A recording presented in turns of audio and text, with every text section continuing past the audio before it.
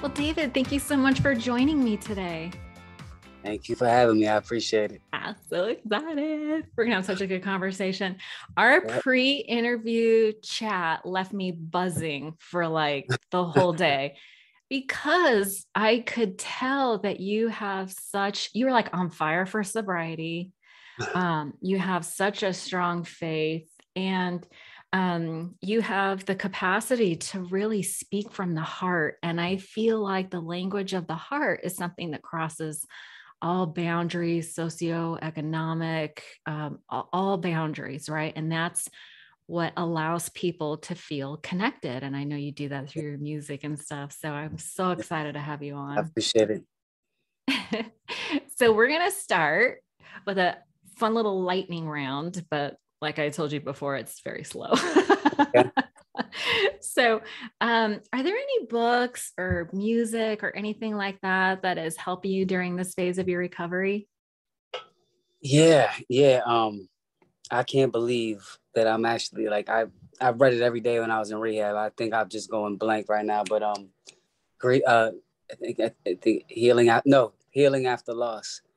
Oh, you know, I think everybody's different in their recovery, but my main thing was is to not rush for answers and embrace the process. And that's a very cliche thing based on when you're in the, the mix of that of that that emotion is nothing but taking over your life. But when I really committed to that, that book was the epicenter of where a lot of this stemmed from and anything else that funneled out of the drain right. or things that I needed to identify, but really diving into the main thing that caused this whole domino effect in my life and how can I start there? Because sometimes what I would do, I was realizing was I never wanted to go back and face the beginning hard enough, enough just to get by, but not enough. And then once that happened, I knew if I really attacked it, all those other little things I could start slowly but surely attacking. So I'd say healing after loss, um, unfuck yourself. Um, I have that on my uh, yeah on my list, but I haven't read it. What was about that that you really like? I don't know. I you know, I think one of the most difficult things to admit is you know what you're doing is wrong, mm. especially in addiction. It's not like we're unaware that whatever your, your your DOC is, we're fully aware what we're doing is not okay at some point, especially mm-hmm. right before I feel like that brink before you know it's time to go. So for you knowing all this information and telling yourself and for it to fall on deaf ears is one of the hardest realizations that you weren't willing to listen because the answers are right there in front of you, but everyone has to find out their own way such an interesting point. We all know, we all have the answers within us. I really have, you know, what I've seen over the years is like such a lack of empathy or compassion or ability to, like, actually, you said it right in the very beginning when you were talking about healing after loss. And we're going to touch on, uh, I know you've had a lot of loss in your life, a lot of loss, especially recently. Um, but that you were talking, you were speaking to the core root of addiction which is trauma and unresolved pain. Yeah. and and it goes to that fact where when we have unresolved pain then we are like compelled to use even though we know what the right thing is to do. It's such a scary this is a really hard story to tell and i don't i've never said this and i think it was one of the uh scariest things in my marriage. This is how bad addiction had got me and I just want to share the story because I think it just goes to show sometimes when I'm having a day where I feel invincible in my sobriety, now what I do is check myself and remind myself five months ago today, I was bawling my eyes out entering detox. Mm. So I always try to put myself in perspective uh, where I was versus just how I feel, but just to use as motivation to stay on track. But you know, my wife had left to go drop our son off and there's this bar like not even 800 feet across, a little restaurant next door, super nice or whatever. And I, my dumbass, didn't time it enough, time it enough to go there and just walk across literally one road. And she was literally in the driveway with like the stare of death. And I just remember looking at her and I was, I was blitzed. I was, you know, I, I tried to make light of it, even though it wasn't funny, but I was being dead serious. That's the worst part about it. It was the irony and the pain, I guess, so to speak. And I was like, I was like, yo, God himself could not have stopped me. I know I mm-hmm. need help. And the fact that I can't get through one day right now boggles my mind.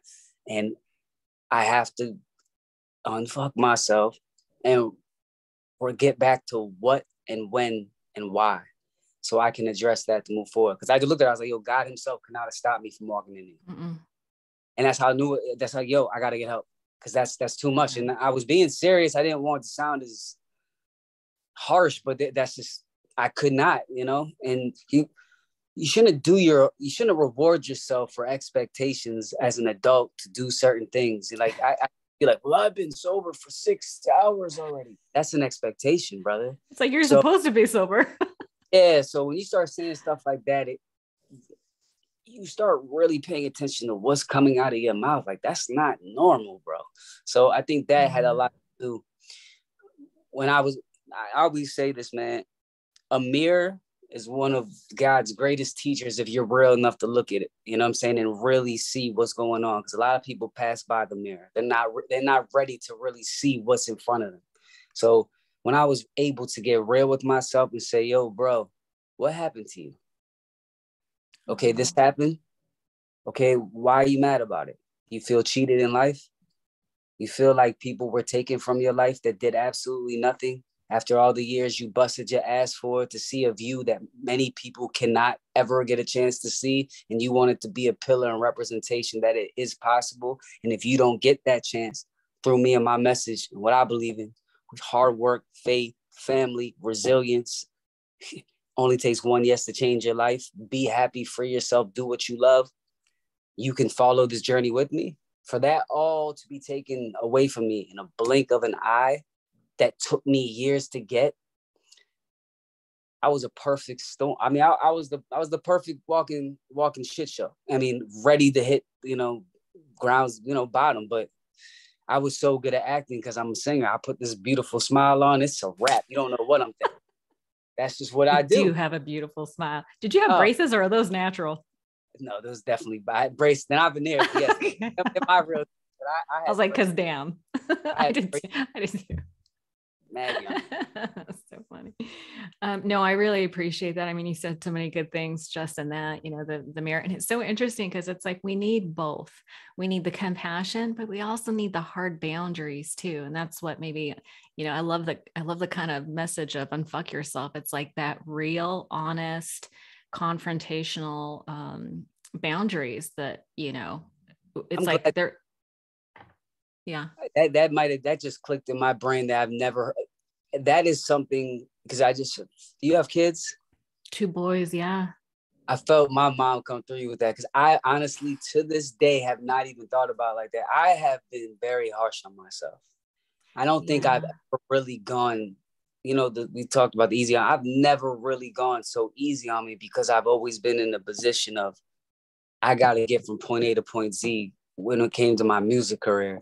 Right. So I never took the time in my life to focus on David Cheney and let him heal. I was always so focused on the agenda of David Correy. It wasn't until the pandemic came where I felt like whatever you believe in shifted my life. The pandemic was the greatest thing that ever happened to me. I know it's different for everybody else, and I'm not talking to anybody that had financial issues and stuff of that nature.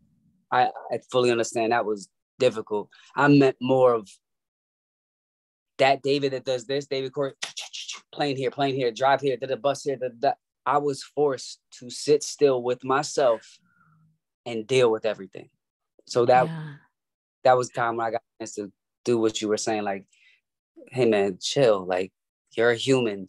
This eh, I know you normalize or minimalize the trauma because you have to get on and put on a show, but that's almost like dehumanizing who your, your your kindred spirit is as far as like it's hurt it's broken right now that's okay. Yeah. and i said that was okay. I, I thought like that was I mean I'm not trying to be funny or say a rude word but I like well, I ain't a pussy like I, I can I can handle this. And that's how I always felt. And once that levee broke the tears it was like when Moses parted the sea is just the drainage this way and that way and it was flowing. So you know I needed that That is such a good point. By the way, thank you for the compliment of the mom vibes. You said that to me in our pre interview chat. And I was like, I know that you and I have both lost our moms. So that felt like the biggest compliment that you could have ever said to me. Um, I was like, can I, can I adopt you? That's so sweet. I was like, oh my God. But um, I almost lost track of my point. But uh, yeah, it is, you know, I think crying and acknowledging pain is the real courage and the real bravery because it doesn't take any courage to suck it up and to hide out. And being vulnerable that is strength. And i think our world has it so confused. And i know that men especially are conditioned from a young age to be tough. I was just having this conversation. I, I really am built pretty rock hard I, I really think a lot of it has to do with my my mom was like oh my god my best friend my manager my assistant my, my you just name it she was like Aww he was my epicenter to understanding the, what a well balanced, well rounded human being looks like that has fun, but works harder to have those moments where she can have more fun than the average. And that comes with a level of sacrifice. You know what I mean? And I understood what that was, but I, I, I honestly didn't know how deep.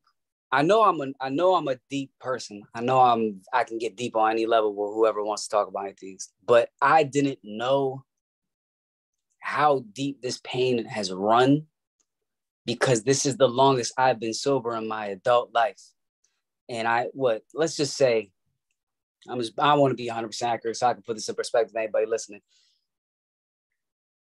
18, I've always done things recreational, but I was an athlete. So it's like, you know, when it was there, it was there. I was dude trying to get women and play sports. So I, did, I, I, I didn't really, if I did it, I did it. It was nothing, I didn't have an issue I went to college, regular college shit. You might have a party once a week, but it was nothing that ran my brain.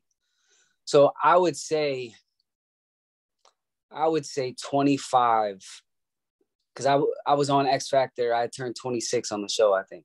Wow. So, yeah. So I would say like 26, I think I turned 26, 27. So I can't remember what anything feels like now. Like I don't know because I've been I mean, I can only imagine how many brain cells I killed. It's not funny. It's just like I just don't, you know, Were I can't. you just numbed out the whole time? Is that why uh, you can't remember? Yeah, I mean, I, I it's hard to compare drunk emotional thoughts to like sober, in tune, in touch with how I feel now. I think now it's just I'm more man enough to revel in how I, I pay attention to how I feel more. But there's a weird numbness being sober about it too so when it gets dark of a thought, it's more like, but you're still here. It doesn't die. I, I feel like the alcoholism, as much as I thought was taking away the pain, it damn near amplified it. Because once you keep going down the rabbit hole, you know, for someone like me that was, you know, I'm blacking out and you don't stop. So what can be a, a pure honest cry over a couple drinks? You know, I'm not, you know, you know, uh, what's what's the saying? Uh, uh, uh, one is um, one is not enough, and a thousand. No, one. Thou- one is too money, and a thousand's not enough. Yes, one is. yeah. Yep, yep, yep. Yeah, I, I think um, it was really hard to um, decipher. Was it as bad when I was drinking, or mm-hmm. is it worse or better now that I'm not? Because I feel like I've matured in five months rapidly in the aspect of how I formulate and put things together. So I just pray now more that like the obsession, it's not, I don't wake up and, oh my God, I gotta, I'm married, I got kids, I'm 36 years old. I'm a self-made businessman. I have things going on in my life that keep me very happy outside of what I thought I could never get out of. But if anything, it's me going on a vacation with my wife and we're at the beach like normal people would be that have earned the right and respect to be there with their family, friends, and have a couple drinks in celebratory fashion. I think I just get more irritated, like, wow, it really got that bad that you can't even do this anymore. And I'm over it. I just remove myself. Hey, babe, I'm gonna go to the gym, or hey, babe, let's go take a walk. That's how I get out of it. I don't. Yeah I don't get too high on the highs and I don't get too low on the lows anymore. I try to stay right here. So, but I think that's really the only thing anymore. It's just like, God damn, like, huh, well, whatever. That's not doing this for me. That's not doing this for me. That's not doing this for me. And I know that you probably said this before. One of the hardest things was when I sat down to rehab was like, damn, the concept of forever, I can't even think about that. That's why the one day at a time thing, you think everything is so cliche, but when you realize that's why they're called cliches, they apply. So. It's so funny. Like when you have the experience, you're like, there, like it resonates, it hits on a whole nother level. When you have the actual experience, you're just like, oh no, it really is. It really does have to be one day at a time. I'm glad you said something too about empathy, man. Um, I'm in a unique situation as far as the music industry. For me, intertwined with addiction, the trauma was at every angle in your life, particularly that that's that means the most to you was all tied into one. So everything happened at once. Mm.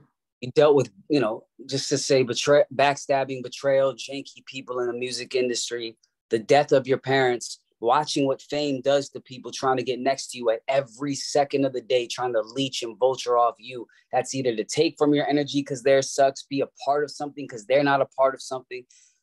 All that every day. And in 2022, the most soulless, moralist industry in the world, where you will literally see people do anything to whore themselves out to get a dollar, that's a very hard thing to compete with and decipher what's real versus what do you want from me then on top of the fact of dealing with addiction.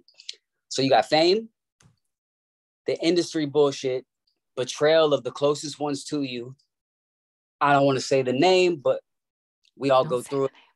Pay mama drama, you know what I'm saying? And then your parents die. It's just one person can only take so much before they break and become the very thing you fear and you decide to play victim when I'm just like, yo, I've arrived and then you add addiction on top of that, I was a monster. I was going to say, I, wanted to ask you about that too, because when we were talking before, I was sort of, you know, trying to put myself in your shoes and think how how would i know like we need each other in sobriety right like yeah. we we don't get so we don't do this thing alone and so how do you decipher who you can trust and like I, I, know you need a support system, right? Like you, your wife can't, I know she's really important to you and she's been a pillar in her family, but I know she can't be your higher power, right? So how do you, how do you know who to trust? And do you have several people? Um, how does that work for you? That's a great question. I think I said this to you last time. I cannot wait to address this because I've never been asked from an outside entity from a pure space, genuinely, like you're like, yo, how? And to be honest with you, we talk about it every day. She's like, babe, you're such a sweet person. You have such a big heart, and your experiences have hardened you. I just don't want that to be who you live in forever because you are a sweet soul, and it's like you overcompensate because mm-hmm. your experiences are so real. It's that I don't not understand where you're coming from, but do you really want to live in that hardened space forever? So when I tell you everybody's a suspect in my head as far as my mentality it's a gift and a curse because there are good people out there and i remember that for the first time when i went to rehab. Because i eh, you know i'm like yo everyone's out to try to get me. In some capacity how do they finagle their way into my life? And it's like yo i don't know you like that. I don't owe you like that. And let's just kind of keep it like this. And when you come out of the fire and you can still see the smoke coming off your shoulders, the last thing you want to do is re- have repeated behavior. So when I tell you I've cut off every single thing in my life that's been toxic to me, including alcohol and people, yes. now so fragile. When I try, it's it's it's literally I have a playbook in my head, but it's exhausting because I don't want to have to think about that all the time. Yeah, I think it's fair to you know um, I've personally been going through a you know my mother died nine months ago so and i want to talk to you about how you're processing grief but um, i think and i know you've experienced a lot of death in your life a lot of loss and yeah. that does have a way of clarifying the bullshit and cool. Uh, right i have found like recently i've been through going through this process of releasing people with love that um that are that make me feel uncomfortable like i am aware of being uncomfortable the inter so are you are you more sensitive to your inner intuition and you can tell who yeah. cares about you genuinely yeah, i told i told uh i told my wife this morning i was like hey listen I don't need a gold star. I don't need it broadcasted. What I continuously and constantly do for others out the kindness of my heart that I haven't even done for some people that I've known longer, maybe even more well deserving. I will continue to always do if I feel it is reciprocated and genuine. But I know now if I tell you, hey, in my sobriety, where I'm headed in my life, this does not make me feel good and I cannot be a part of it. So respectfully, I'm sorry, but we cannot do business, or I'm sorry you feel that way, but this is what's best for me and my family. That's how I'm dealing with it now. Because the old Dave been like, you brother, fuck you. I don't care if you lose my number. And if you pull up around, like that's how it used to be. You'd be mad now, about it? Oh my God. I out on people because the worst thing you can do is disturb somebody that's grieving that's an addict. Oh my God, yeah. I was a monster. And the, some the, the worst part about it was some of it was warranted and some of it wasn't, but I didn't care. I literally felt like I was a rebel without a cause. And mm. The, the the only thing that I was able to keep intact that I never destroyed was my talent and the people in my close knit vicinity that I work with that have become family over the years, I never destroyed those bridges. Those were always there. And they've been super empathetic and there for me because they would be with me in the studio every day and they'd be like, yo, I know you drink, but you were, they, they didn't even know. I'm with these people all the time because it's always, you know, laughing and joking. So I was able to keep my act together until I literally couldn't, until I was damn near looking like a dying skeleton, anorexic looking, uh, stumbling, mumbling. People would start noticing this dude's only online from seven in the morning at the gym at like eight.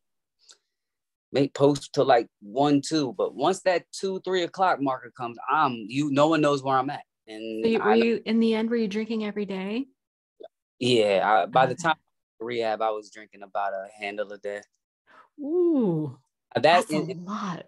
Any dude, bro. Like I, I really do feed off adrenaline. I, I I operate at a very very high frequency of vibes, music, and adrenaline. Like on a whole, like yeah, you kind of have to. That's kind of your thing, right? Yeah, and um, that for the drinking aspect to get put that in perspective. I wake up, I go to the gym. Excuse me. At that point, you got you got to sweat out the toxins to start your day again, basically. So at that point, is it really helping my fitness?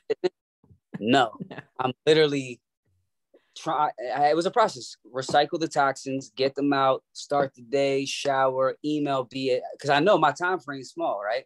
So yeah. I'm exhausted. The worst part was is okay. Well, everyone's not going to be available when you are DC. So when people would call me back, I might be coming down off my high kind of moody, right? Or I don't answer. They take it personally. I call them back the same time, like, yo, dude, I told you not to call me here. But I'm like, maybe in my brain, I'm like, I got to show them that I still care. So there was a lot of things where I, I had to, I, I, had and have to forgive myself that I probably could have mm-hmm. executed a lot better. That's been tough too. Forgiving self forgiveness, yeah, yeah, that's a big, that's, that's a big deal. Let me ask you something. Um, I want to take you back a little bit uh, because um, what I know of your background is that you were adopted. You were in, uh, you're from Brazil originally, and you were in an orphanage for a, little, a very a little while, and then your parents adopted you, brought you to the uh, U.S., and you were raised here. But your parents both died uh, within two years of each other. Uh, your mama got sick, and um, what died three months after her diagnosis. Yeah, it Brutal, was a dude. Oh my god, I'm like, and now you know it's crazy, man. I don't even entertain. I don't have the time anymore. I, and this is where I'm working on trying to be more empathetic. When you go through stuff like that in the beginning of this journey, I don't know if you remember, but for me, man, I'm like, I, I put my hands up. I tell my wife every day, like, look, bro, I wish bad on no human being. I want to see us all win. There's got the same 24 hours. There's enough money out here for you to figure out something you love, but respectfully, leave me be while I'm in this process. I done been oh, through yeah. it. I'm not your teacher. Like I'm just in a very protective mode right now because I know what people are willing to do for a buck. And anything that I see that gives me PTSD of what I just got out of, mm-hmm. I run. Yeah. I use my wife as she protects me. You know I'm saying because she, it's just, I thought, you know, I, it felt like I was an orphan all over again when they both died, and I just. Your, your father passed away two years later from a heart attack on Christmas Eve. It was wild. I. Where were you when you found out? Um, that's a wild story, and I've been very silent about the background stuff that happened. You know, made a horrible decision to have a child when I was drinking. That's not a smart idea, right? Um, and doing it with the wrong person that has an agenda. And I think all those things at once, when my dad died, and I saw what happened when he died, and certain people in my life that I thought were gonna be there for me showed me who they really are. And when someone shows you who you are, believe them, right? Right something clicked in my brain where a level of insanity literally ran my life. Mm. I don't know how to say this, but it's almost like when I woke up, it's just like the analogy of with my mom with cancer. Like I saw the progression of the disease taking over her. It's where you get a glimpse of Carolyn, but like the disease had taken her over completely. That's exactly how fast the progression of of me becoming a horrible human being.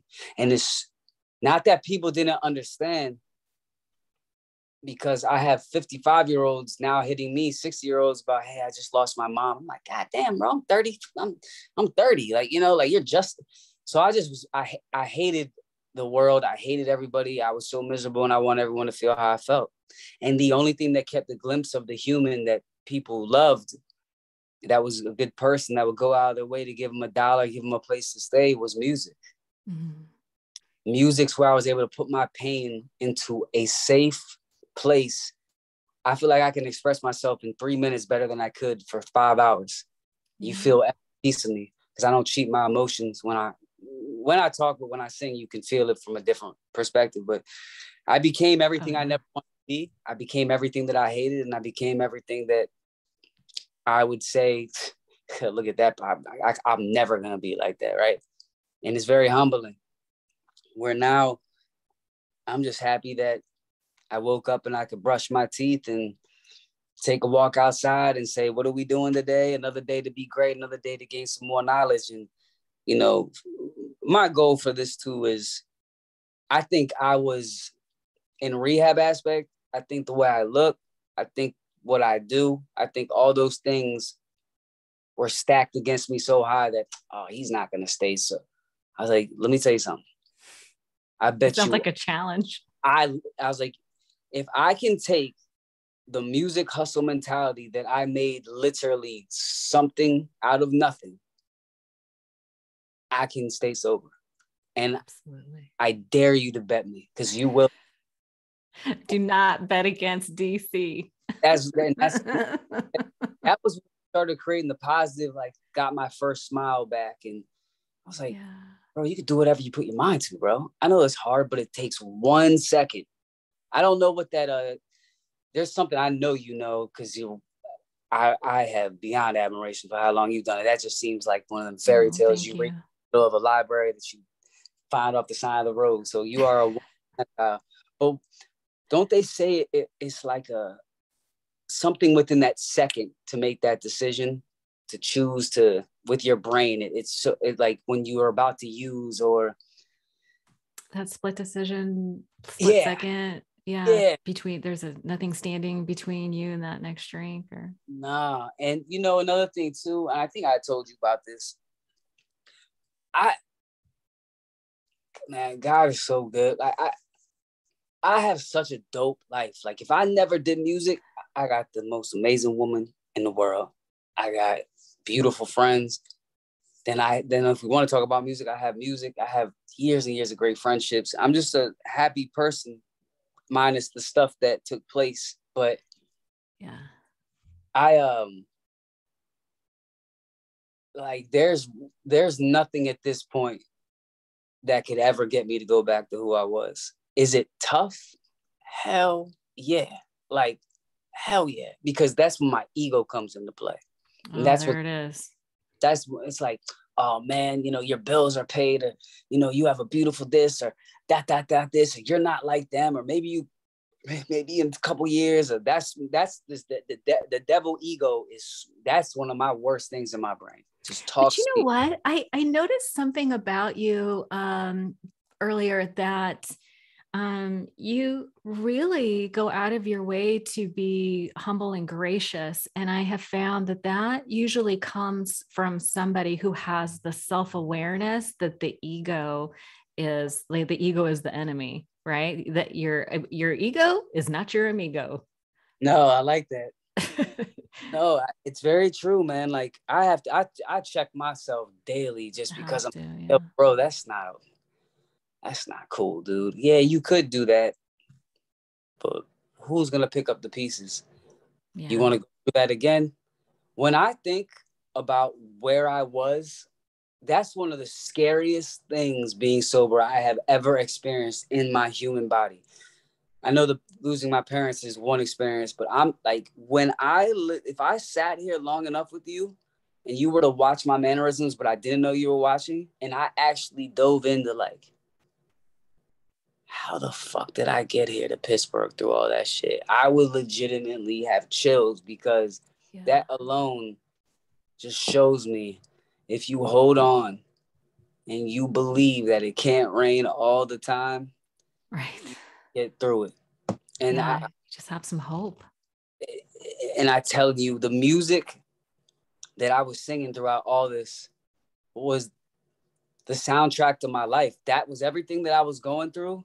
And when I finally came out and admitted that I was sober, everyone was hit. They're like, ah, I had no idea. I was like, bro, yeah. I screaming in a crowded room for years. I don't know what else I had to tell you. I've talked about suicide before. Mm-hmm. I remember the day. I never really told that story.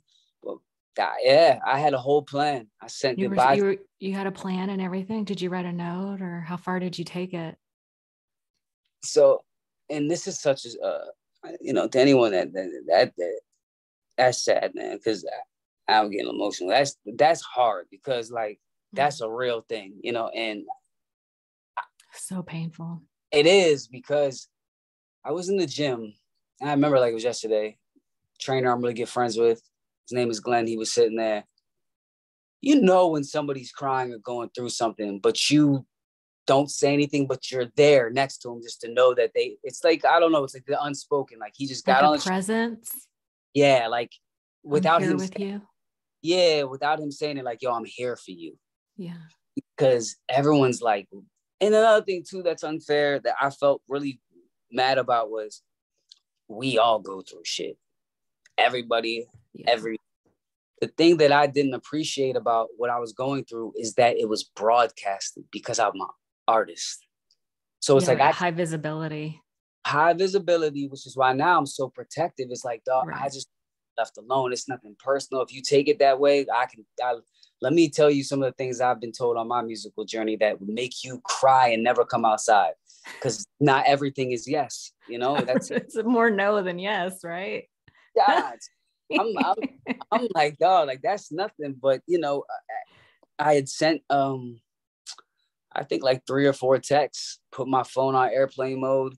My best friend, who was the first person I met when I came from Brazil to America, that he, best man at his wedding. Like that's my brother. Like everyone knew this is how sick my alcoholism was, and this is how crazy that I couldn't even see how bad it was. And even if I did, if I went five hours without drinking, I see. I told you I got it. I'm fine. Like, super denial. You know what I'm saying? the most denial ever. Like, and uh, I there was where my house was. It was a circle. Was a loop, right?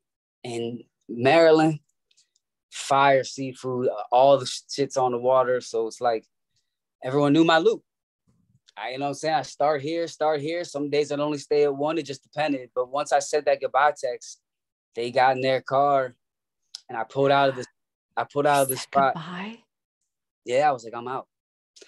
Um, and uh, I put my phone on airplane mode. I guess they got in his car, him and his wife. Um, and I'm pulling out glory. I'm hammered. Like so, everything is paranoia. So I, I see this car like behind me, right? Like going like this, like getting like I'm like I'm yelling. I'm like, get the fuck. And I, I start speeding. I'm drunk, right? Which is horrible. Now I think it's a cop. I'm like, fuck it, I'll get pulled over. So where I was going, I was just going to my parents' gravesite. I was going to say oh, no. Yeah, and that was the first time we cried together in my car. It was like it was beautiful. Him, me. I never told anybody the story in my life, and um, that was the first time that I had thought about going to rehab. And it, at that point, I hadn't tackled anything, so it obviously had gotten out of control where rehab was necessary. But I was too immature to, to handle it. I just I wasn't ready.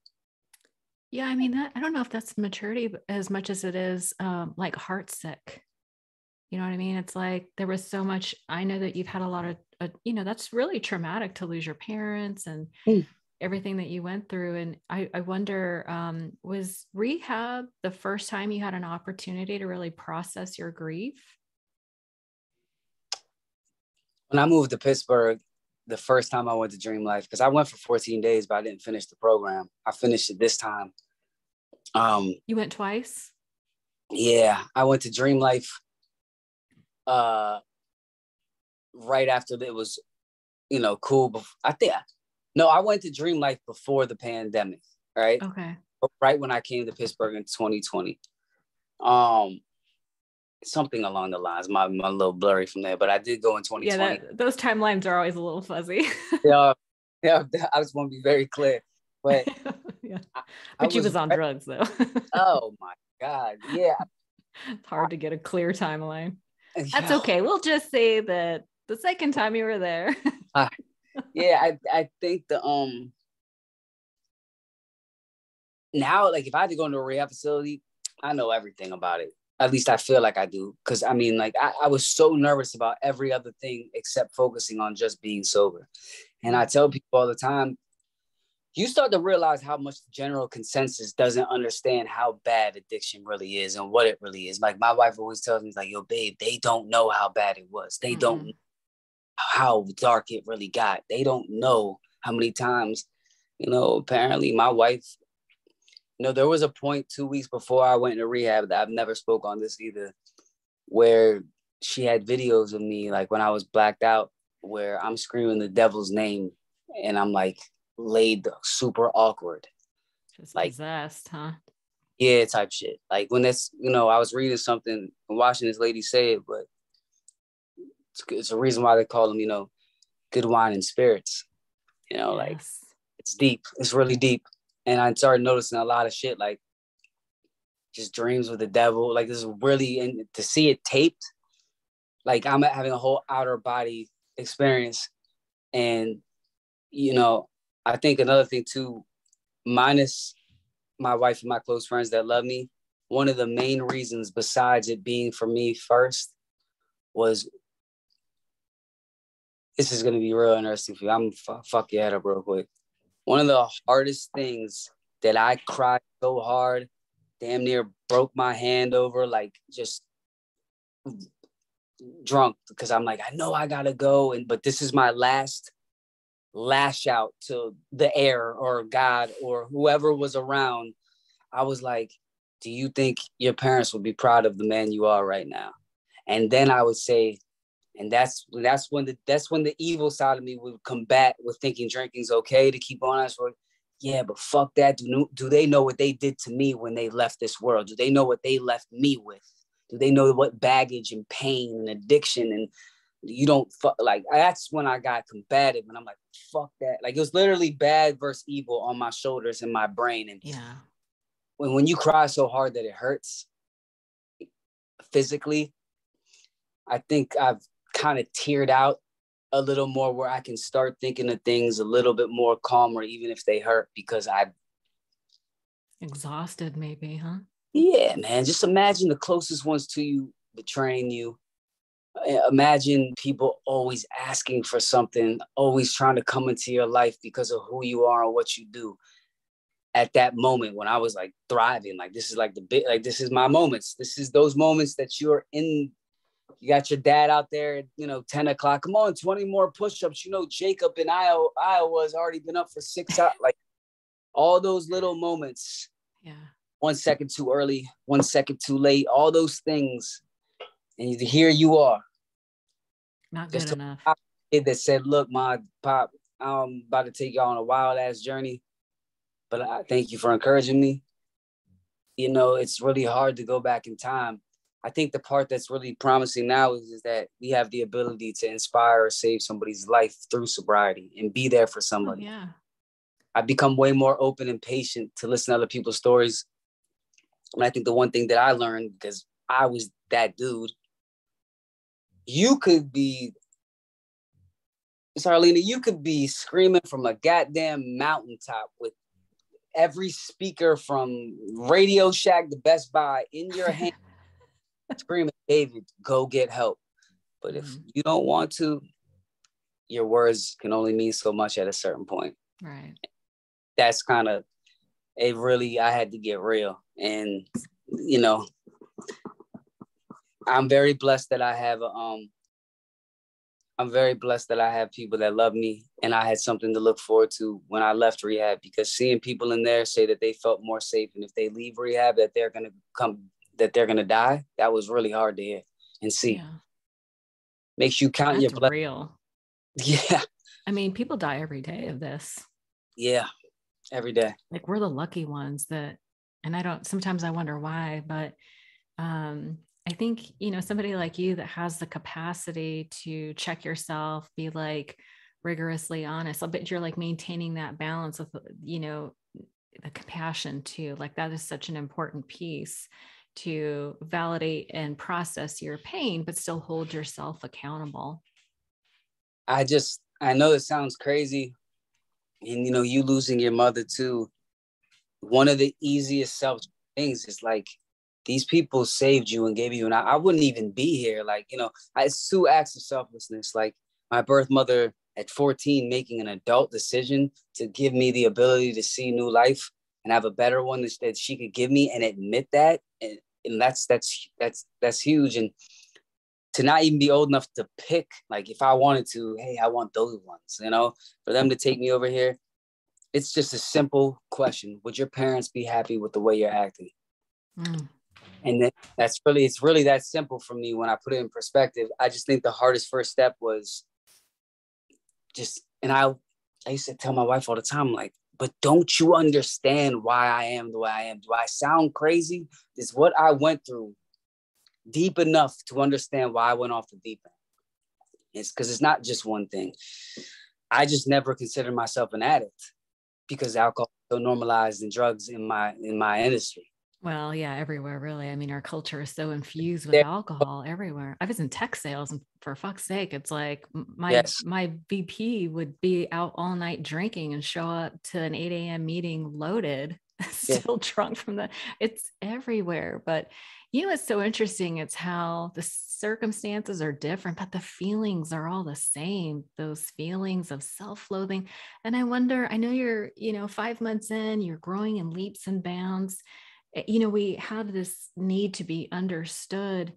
Do you feel that the rehab process um, or your continuing growth has allowed you to understand yourself and find that compassion and empathy? I mean, obviously every day is a work in progress. It's just, it's tough to dive into. Um, it is tough. It's tough because it's like, some days I laugh like, I don't remember laughing at stuff like this or like, oh, I didn't even know I appreciated this. Like I have not taken time in my adult life to literally slow down enough. And you know, I think about this how many times when we're fucked up and we're out doing what we do is like, you know, you posting on Instagram, oh yeah, man, last night was lit. Yeah, girl, it was lit. I love you so much. Like, but did you really experience it? Because you interpreted at that moment that you did. I'm telling you, this is the first time I've experienced it. The way this chapstick, anything that you can think of, like it's she she she laughs sometimes. She's like, I was like, yo, I don't remember the last time I seen the sun come down sober. And that's the pathetic, but that's what I was going through. It's so funny. Everybody has like this experience in early recovery where they're like, wow, the trees are so green. it's like, like, that moment when you're like, yeah, you're like waking up to yeah. reality. Can I be honest with you? You're bringing a different light to what I do in the aspect of the people you see on Instagram that might be in the club every night. Maybe they do have an issue. We don't know. We have no idea because we don't know them personally. But what I do know is no one knew how deep mine went, that it controlled my every movement, time slots of when I'd work, time slots of when I wouldn't be available. I thought I needed alcohol to do everything. So I think you're bringing awareness to just how bad it is. And because I felt so alone and so unsafe, that ego of that ego of uh Tupac middle fingers out the window yeah. was a, a way of life that I used as a coping mechanism to survive. Well, there it is. That's it's a survival skill, you know. Uh-huh. And in recovery, it's about you got to feel it to heal it. I think that's why it's so hard. I just I said I, I made a promise to myself. I was like, I will never allow anything or anyone to make me feel this low again in my life but I wasn't understanding that, okay, well, that's a true statement, but you're killing yourself with alcohol. So if you can knock that out of it, then maybe you'll be all right.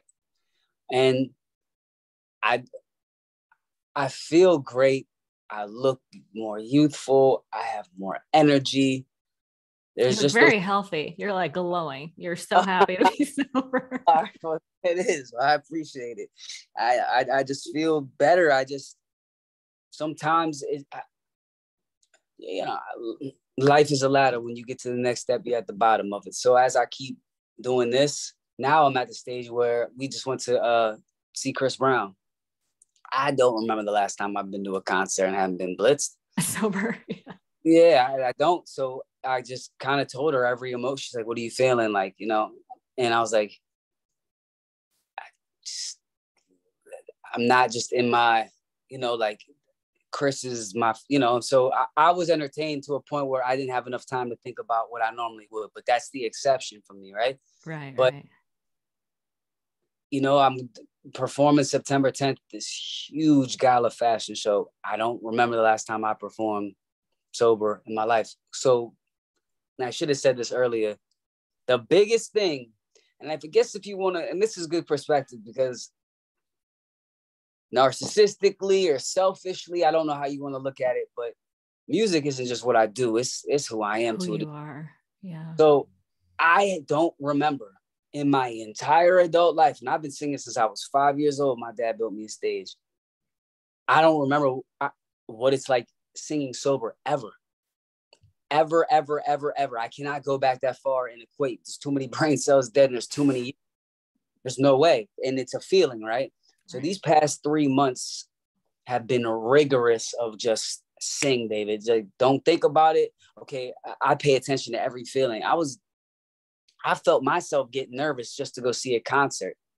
So then I'm singing the national anthem on Sunday Night Football, the Kansas City Chiefs game. That's like eight. Yeah, I have. Is that record? Did you already do it? Oh, it's no, coming up. Coming up live. Yeah. oh my god, I'm so excited for you. Eh, That's like my I, favorite song ever. Yeah, it. Uh, uh I even shelf. You uh said something too, like having that self awareness. I told my wife this. No one. I was like, babe, you know what? She said, "What's up?" You know, when I do something, I put my best foot forward. I'm about to start taking voice lessons again. She said, "What?" I was like, "I've been voice lessons." She was like, I, and she's like, "Yeah, tapping back into the element of that brick by brick, uh, teachable. Yeah, remain teachable and give me the self confidence that I need mm. through my sobriety because it's different when you, oh shit, yeah, all right, come on. That's the self liquid courage. the liquid courage, the fake. I mean, well, people could say it's fake. I mean, it worked. I mean, I, I you know, it does, it does work. I can't deny. It's just yeah, it works. That's why people do it. Yeah, I think, and tell me if I'm wrong, because I think I just feel like alcohol is one of them slow deaths that oh, can turn. Yeah. I feel like it's a slow death overall, but it can catch you up to all right. Well, this ain't doing it. You got some blow. Like it's just a progressive. Progressive, yeah. And I honestly, no one believed me. I took for the. I swear to God, I don't know why the facility. Well, when something had took place, I had a fake test come back that I had done oxy, and there's like a one in seventeen thousand chance that I was telling the truth. you were you were doing it. I never did any other drugs like that. Wow. We we just like the way it made my my throat feel like I could vape oh, right. Yeah. It did something for my asthma that I've never experienced. Now I have bad asthma, but I was like, damn, I can vape, but I can't do this. So I might hit it once in a while. We had to play, man, heck yeah. But but like I never it was I knew exactly what this was gonna do. Mm-hmm. I knew exactly how many get me to this state stage of David, this many for this stage. Sometimes when I was grieving and uh, I'll be by myself and like the weather was dull, I'd be like, yo, I, I just want to be emotional today. I'm gonna get fucked up and bump Purple Rain by Prince all day long.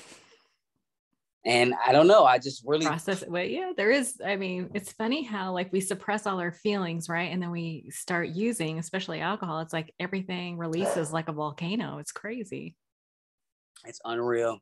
I um yeah. I never wanted to believe it was as bad as it was, but you know, I'm my new uh project that's coming on my birthday on October 8th is called Coming Home. Oh, it's coming home. Oh my gosh. So it's gonna be a picture of me um walking up with flowers to the grave site and it's in black and white that are uh in color of the flowers. Yeah.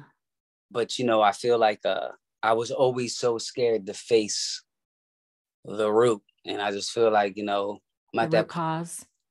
Yeah, like I can come home and have a conversation and everything and create new memories and be proud of this is a sober conversation with y'all.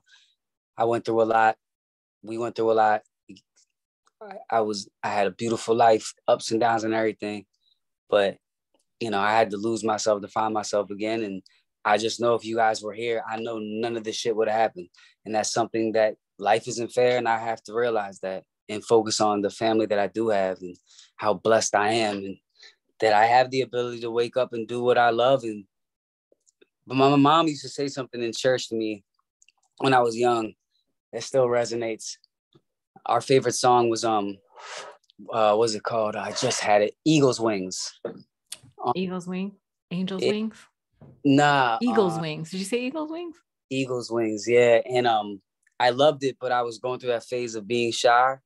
And uh-huh. she was, she just turns around and she just goes, I'm so disappointed in you. I'm like, excuse me? She was like, it's selfish to not use what the Lord gave you. There's tons of people Ooh. you can. I never looked at it like that. So to know how bad it was that I was destroying selfishly, self destructively, killing what was given to me that can be taken away at any given moment. Yeah. So you know. But this is a journey, man. I, am it's it's upward from here. I'm the type of person I just need results to see what I'm doing is working, and I'm gonna keep my heart. So, listen, you, I thank you so much for coming on and sharing your story. I mean, what's that? Was it entertaining? It was good. Oh my God, it's, it's amazing. Um, and I just have to say, um, since I was introduced to your music, you mentioned um like the go easy on me song oh my god amazing yeah, I've been playing it on repeat. But you know what's been uh, running through my mind? Why is a very important song because that was one that you did about recovery. That was super amazing. Everyone, I'll leave links in the show notes. But um, you know what's been running through my mind is that line, "I want it all." Oh, so much- from that song. And because it's so like and i'm like i think that that is sort of it speaks to sort of the root of our addiction it's just that need for more so right the need for distraction the need for more and Yeah, but uh, I love the song "Go Easy on Me" because I think you mentioned that you recorded that just before you went to rehab, and it's such a vulnerable, beautiful song. Yeah, that's that that that's a hard like. I don't really remember that session at all because I knew you it. Don't, you don't remember you were high. I was so so drunk, but I knew what I was doing. I was like, "Yo, this is that last hurrah." Like, you let that pain out, like, because I was sad singing. Yeah. Ah, so it was it. so raw and truthful, you know. And it's I so beautiful. I mean, there was beauty behind it, but there's a lot of pain. I knew I was doing, but I also knew that was the last hurrah. But that was there was such a level of vulnerability and honesty about that. Yeah, I, I just felt like that was the only way that I'd get the real out of it. And I also did why that day and that same day. Yeah, I did the second half of it and I was down in my basement. Um, I was just dumb lit, and I took my voice memo, and that's when I said, because I was like three in the morning, I'm starting to kick the uh, the mumbled blackout stuff, and I just remember saying, before I lay me down to sleep, please remove these demons from me, and that's just, I just saw myself just falling asleep into the dream of like coming out of it, you know. So I just uh, like I said, music and being a creative man. That's I swear to God, it saved my life. Such a great way to process grief and all your feelings. Yeah, and I hope you know anyone going through this, watching this, man. Just the cliches are real for a reason. so, Amen. Yeah. Amen. Well, David, thank you so much for being so generous with your time and sharing from your heart such um, so real. I, I just really appreciate you and all the work and your intention to help other people out of their suffering. So thank you for sharing your story. Thank you for having me. And, you know, salute to you and what you've done. That's a great feat to accomplish. Thank you so much. You have a great day. We'll talk soon.